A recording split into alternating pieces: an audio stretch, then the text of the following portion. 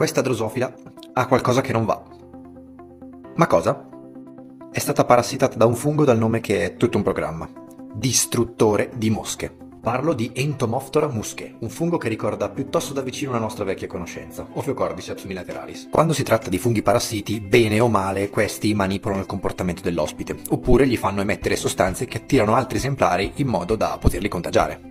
Bene, a quanto pare il nostro parassita del giorno doveva essere piuttosto indeciso su quale delle due strategie fosse la sua preferita. Così indeciso da usarle entrambe. Infatti, quando riesce ad infettare una mosca, ne manipola il comportamento per far sì che raggiunga un posto alto, in modo che rilasci le spore su una superficie più ampia possibile. In pratica rende gli insetti delle docce che al posto che acqua rilasciano spore. Ma non è finita qui. Quando una femmina infetta muore, il fungo rilascia attraverso il corpo dell'insetto delle sostanze che attirano i maschi, che provano quindi ad accoppiarsi. E secondo voi quale mai potrà essere il risultato? Che i maschi vanno ovviamente in bianco e per di più si portano pure a casa un'infezione.